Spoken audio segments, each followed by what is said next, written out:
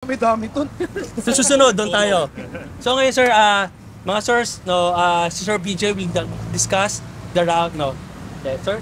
Okay. So, uh, we will start here tapos we will end up in Ibaan. Let's go.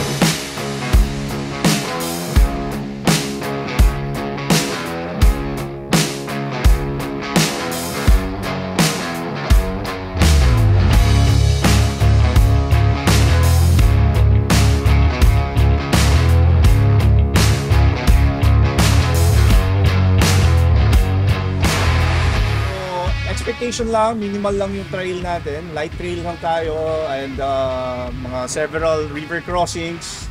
So, if may hesitation sa mga river crossings, uh, but assist na lang. Nandiyan, marami naman tayo. So, tulong-tulong na lang tayo to tumawid.